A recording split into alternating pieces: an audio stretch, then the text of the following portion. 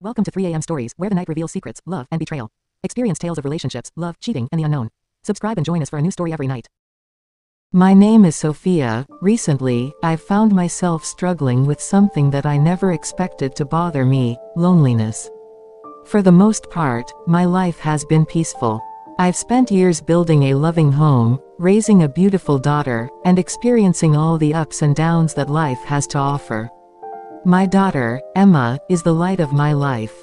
She's married now, living with her husband in another city. We've always been close, more like best friends than just mother and daughter. There's an emptiness that has been growing inside me since she left. I've always been proud of how close Emma and I have remained.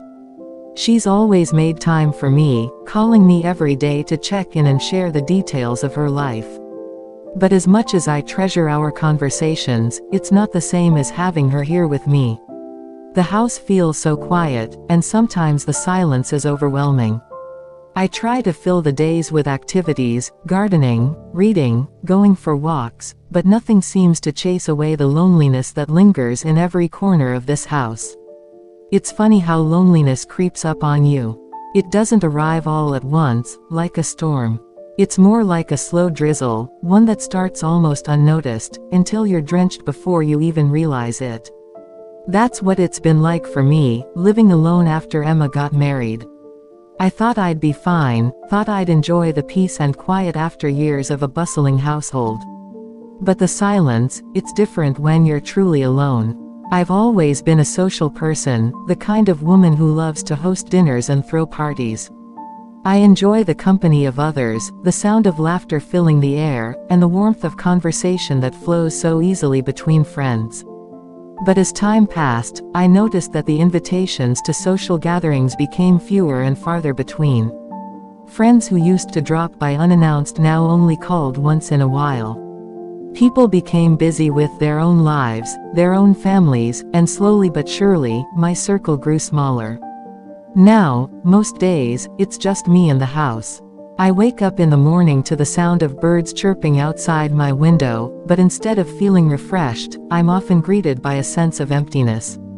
I go through the motions, make my coffee, read the newspaper, tend to my plants, but it all feels hollow without someone to share it with.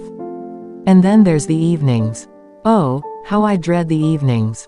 The sun dips below the horizon, casting long shadows across the floor, and that's when the loneliness hits the hardest. I used to look forward to the evenings, to the time when Emma would come home from school, or later, from work, and we'd spend hours chatting over dinner. Now, the evenings are long and silent, stretching on endlessly with only the television for company. It was during one of those long, lonely evenings that I received the call that changed everything. I was sitting in my favorite chair, staring blankly at the television, when my phone rang. Seeing Emma's name on the screen brought a smile to my face, her calls were the highlight of my day. Hi, Mom. Emma's voice was bright and cheerful, as always. How are you? I'm fine, sweetheart, I replied, trying to keep the weariness out of my voice. How are you and Tom? We're good. Actually, that's why I'm calling. Tom and I were talking, and we realized it's been way too long since we've spent some quality time with you. So, we've decided to come and spend the weekend with you. I was stunned for a moment, my heart skipping a beat. Really? You're coming to visit? Yes. We've already made the plans, so we'll be there Friday evening and stay until Sunday. We can have a girls' night, just like old times, and Tom's really looking forward to seeing you too. What do you think? What did I think? I thought I was the luckiest woman in the world. I hadn't realized just how much I needed this, how much I needed them. The thought of having my daughter and son-in-law here with me, even if only for a weekend, filled me with a warmth I hadn't felt in a long time. I think that sounds wonderful, I said, my voice trembling with emotion. I can't wait to see you both.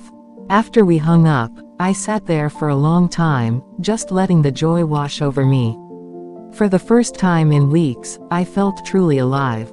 There was a lightness in my chest, a sense of anticipation that made me feel like a young girl again. I began planning immediately, thinking of all the things we could do together, the meals I would prepare, the places I would take them. The days leading up to their visit flew by in a blur of activity. I spent hours cleaning the house, making sure everything was perfect for their arrival.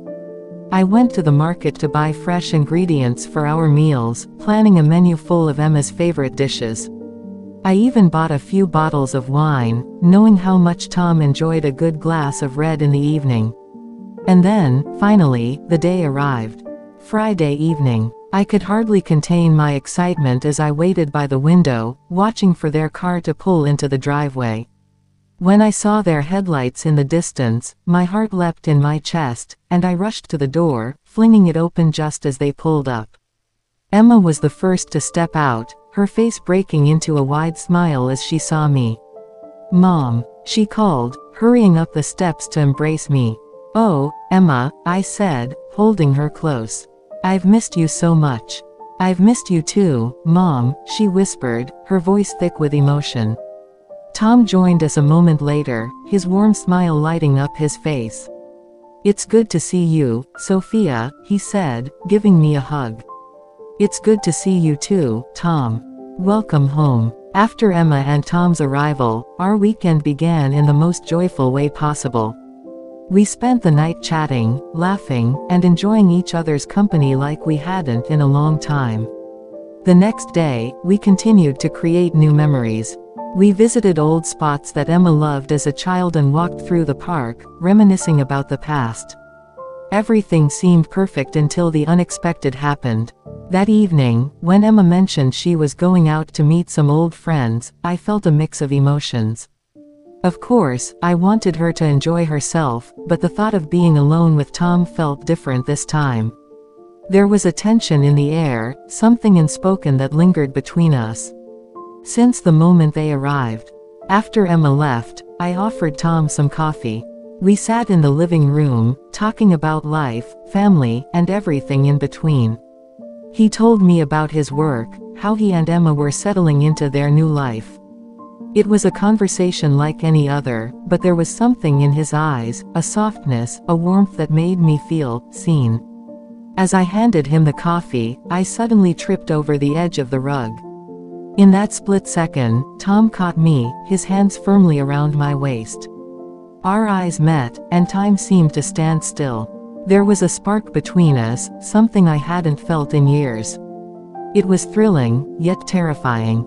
I quickly composed myself, but the moment left a mark, and I could tell it did the same to him. We sat on the couch, and as the conversation drifted back to my loneliness, something inside me broke. I found myself opening up to Tom, sharing my deepest feelings, the emptiness that had filled my life since Emma left, the silence that haunted me, and the aching loneliness that gnawed at my heart. I hadn't intended to tell him so much, but it all just came pouring out. Tom listened intently, his eyes filled with compassion and understanding. He was quiet for a moment, and then he did something that caught me off guard, he hugged me. It wasn't just a casual hug, it was an embrace full of warmth, comfort, and care. In that moment, I felt a sense of peace I hadn't felt in a long time. The loneliness that had consumed me for so long seemed to fade away, replaced by a feeling of calm in his arms. We held each other for what felt like an eternity, neither of us saying a word. It was as if the world outside had ceased to exist, and it was just the two of us in that moment. When we finally pulled away, there was a sense of something unspoken between us, a connection that neither of us had expected. That connection led us to a place I never thought I'd find myself. We went to the bedroom, and what started as a tender moment quickly escalated into something more. It was a whirlwind of emotions, excitement, passion, and a longing that had been suppressed for far too long.